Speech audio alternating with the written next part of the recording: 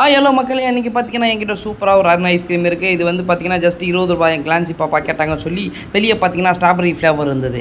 அவங்க அப்படியே ஆசை ஆசையாக ஓப்பன் பண்ணுறாங்க இப்படி பண்ணுறாங்க அப்படி பண்ணுறாங்க கடைசியாக பார்த்தீங்கன்னா ஓப்பன் பண்ணிட்டாங்க. பார்த்தா உள்ளே சாக்லேட் ஃப்ளேவரு மேலே என்ன வந்து கீழே பார்க்குறாங்க பார்த்தா ஒரு பெரிய குழவி.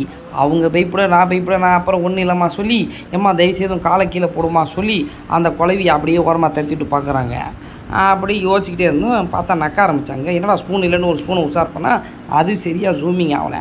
அப்புறம் அந்த ஸ்பூன் எடுத்து அலைக்க அவங்க கையில் கொடுத்தா சும்மா ஜாலியாக சாப்பிட்டாங்க. ஆக்சுவலி எனக்கு கிடைக்குமா கிடைக்குமான்னு ரொம்ப நேரம் ட்ரை பண்ணி பார்த்தா எனக்கு தர மாதிரியே தெரில நானும் விடுற மாதிரி தெரில அப்பாவுக்கு கிடைக்குமா கிடைக்குமான்னு கேட்டு பார்த்தா எவ்வளோ கொடுத்தாங்க பாருங்கள் அப்படியே வயிறே ரொம்ப அளவு கொடுத்தாங்க. அங்கே பாருங்கள் கொடுத்தது ஒரு மூணு சொட்டு அதில் அப்படியே ரெண்டு சொட்டு கீழே விழுந்துச்சு சரி போயிட்டு போதும் அதை துடைச்சிட்டு திருப்பி அவங்க அதையும் விடலை. அதையும் நக்கி சாப்பிட்டாங்க.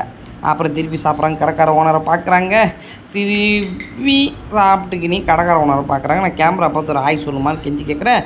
அப்புறம் சொல்லுவாங்கன்னு பார்த்தா சொல்லு சொல்லு சொல்லுன்னு உயிர் எடுத்து கடைசியாக சொல்லி முடித்தோம் ஓகே